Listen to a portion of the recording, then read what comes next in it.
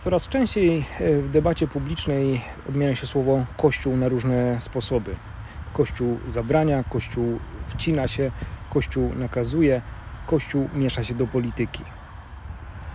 Mówiąc Kościół, najczęściej idziemy na skróty, mówiąc tylko o duchowieństwie, o biskupach, o y, księżach, a zapominamy, że każdy, kto jest ochrzczony, również ten Kościół stanowi. Nauka zajmująca się y, Kościołem to eklezjologia. Ona już y, na samym początku mówi, że Kościół to pierwotne zgromadzenie Kahal Jahwe, czyli zgromadzenie ludu Bożego, narodu wybranego, który Pan Bóg wy, wyciągnął z ziemi egipskiej, y, z niewoli. To tam, w tych strukturach był wybór pierwszego kapłana, następnie lud domagał się pierwszego króla, zdobyli prawo, czyli dekalog, do którego y, w dalszym ciągu odnosimy się do dnia dzisiejszego. Jest to prawo Boże, które jest niezmienne. Dalszym rozwojem Kościoła to pojawienie się i wcielenie Jezusa Chrystusa, Syna Bożego, który w swoim nauczaniu publicznym wybrał grono uczniów, apostołów, dwunastu, powierzył im konkretne zadania, aby szli głosili Ewangelię. Z tych dwunastu wybrał jednego, y, Piotra, którego uczynił swoim następcą, widzialną głową nowego y, kościoła, który po śmierci Chrystusa zaczął działać i do dzisiaj nosi nazwę Kościoła Chrześcijańskiego. Wobec y, Kościoła przez te 20 wieków ciągle są jakieś zarzuty, że ciągle coś jest nie tak. E, mówiło się o księgach, o indeksie zakazanym, o inkwizycji, o nieudanych wyprawach krzyżowych, e, czy wiele jeszcze innych jakichś tam słabości można wyciągnąć e, na światło dzienne. Ale to zawsze dzieje się w momencie, kiedy odchodzi się od Ewangelii.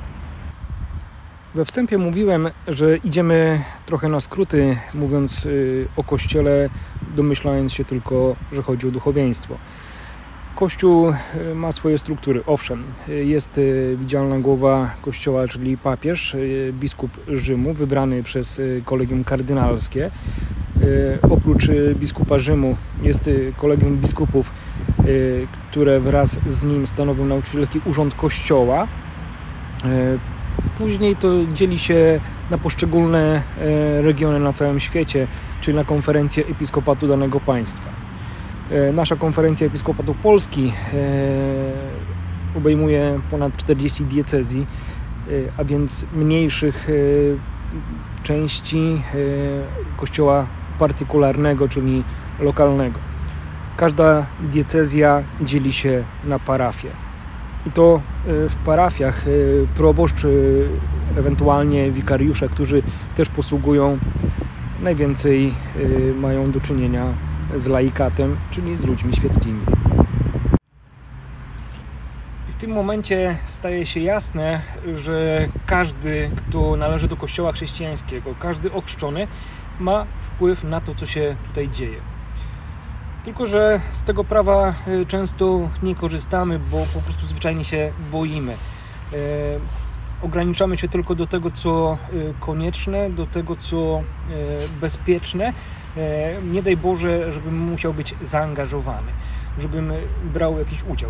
Ale jest grono ludzi, które z tego prawa korzysta i później w duchu Ewangelii, w duchu Bożego Słowa stara się dawać świadectwo w świecie, w którym się znajduje, czyli w swoim miejscu pracy, nauki, w rodzinie, gdziekolwiek zostaną postawieni.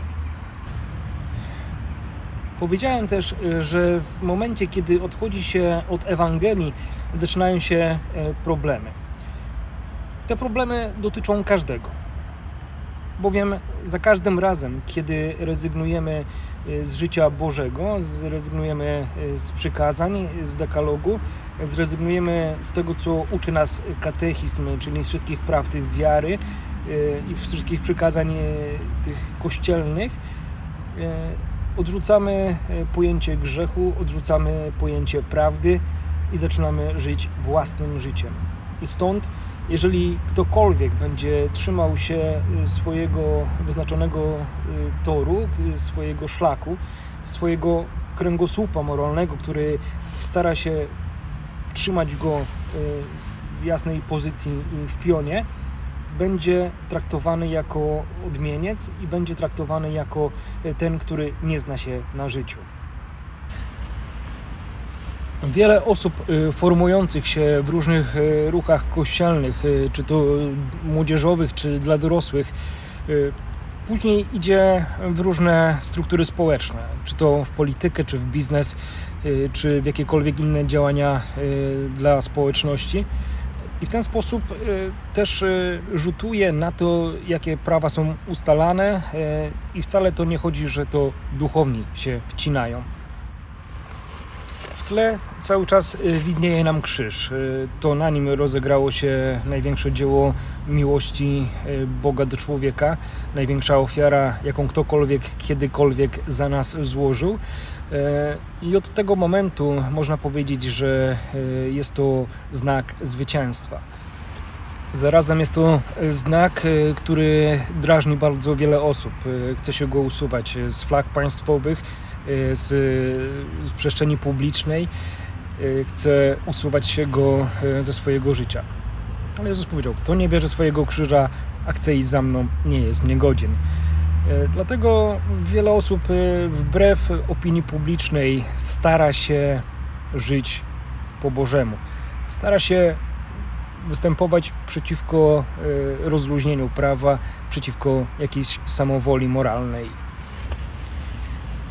Jeśli w moim życiu e, zabraknie tego spoglądania na krzyż i zabraknie trzymania się Bożego Słowa, mm, to znaczy, że zaczynam żyć e, po swojemu. To znaczy, że już e, nie jestem godzien nazywać się chrześcijaninem, bo nie ma to wiele wspólnego z wiarą chrześcijańską.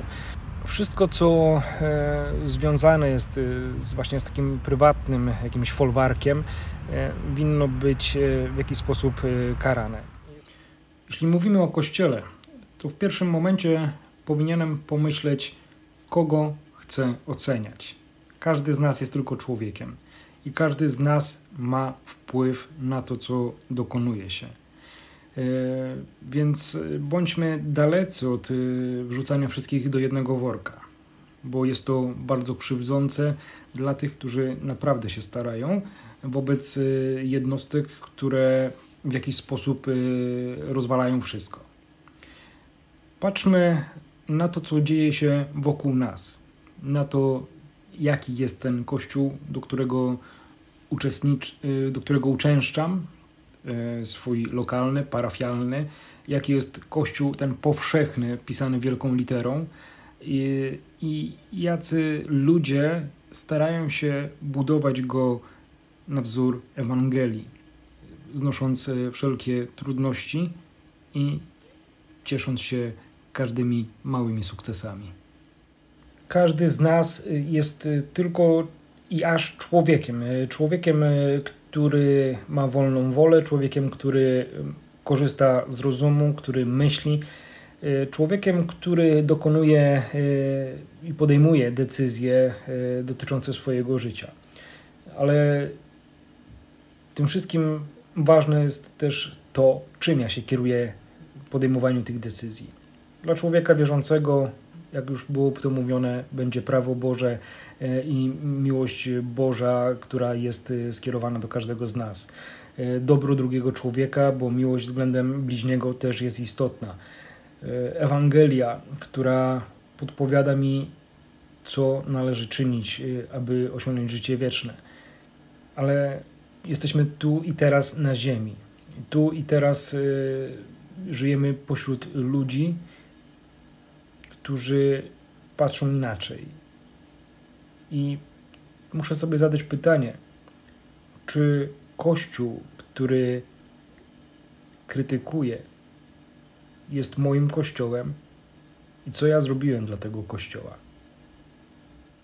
Dlatego warto jest rozmawiać na różne tematy, e, niekoniecznie tylko na te, które są wypisane wielkimi nagłówkami e, na różnych portalach, czy, czy gazet, czy mediów e, na pasku, bo to są kontrowersje.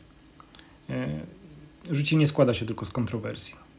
Życie to codzienne zmaganie się z szarą rzeczywistością, e, to codzienne rozwiązywanie e, własnych problemów. E, ja ze swojego punktu widzenia mogę powiedzieć, że gdyby nie Kościół, pewnie wiele osób dawno by się załamało i targnęłoby się na życie.